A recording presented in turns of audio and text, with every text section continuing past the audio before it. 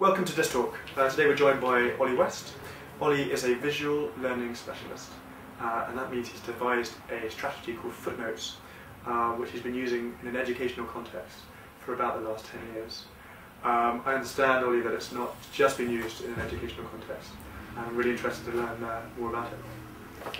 I've found that the use of a folded piece of paper um, for lots of different types of thinkers has been particularly useful. The idea of being able to put down your thoughts, not necessarily in any particular order, um, gives people the ability to put um, ideas down on paper that they probably wouldn't put down.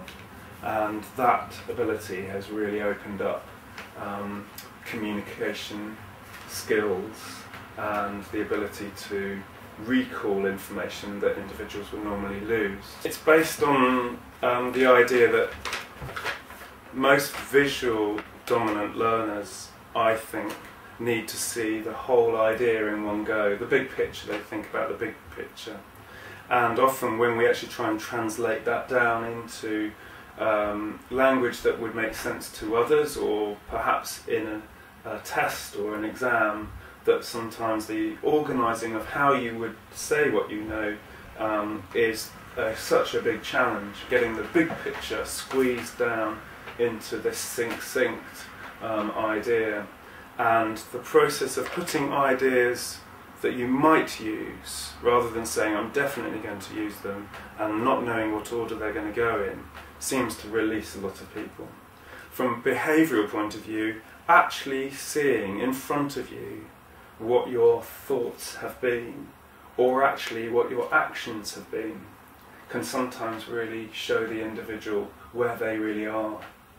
And I think that's really, um, you know, releases them to uh, feel more in control.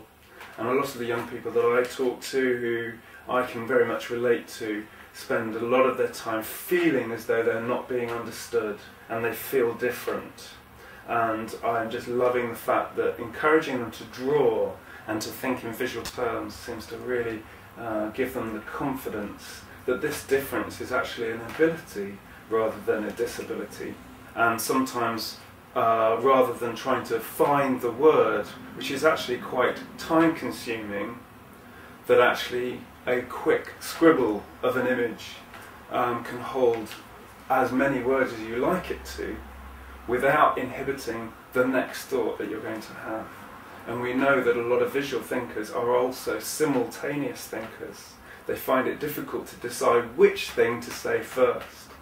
And as a result of that, putting these ideas down very quickly in images rather than words gives them that ability to make the decision at the last minute as to how all of this is going to be ordered and displayed and uh, shared.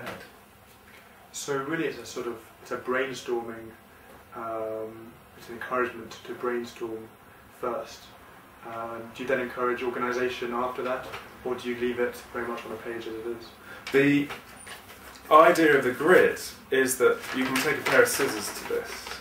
They're then cut up to credit card sized images that can be used in um, all sorts of ways. Uh, some degree students that I work with uh, have come up with quite elaborate systems for uh, using these with um, little boxes, um, almost in the same way as Solitaire, uh, the game, is uh, sort of laid out on the table, um, giving them the control over how many images they see and what order they put them in and how they relate to each other.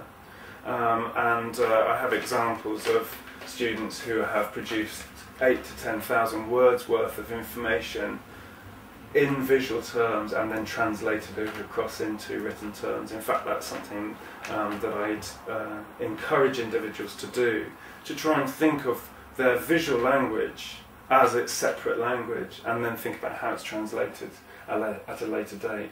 And it's amazing how many people find that uh, so liberating.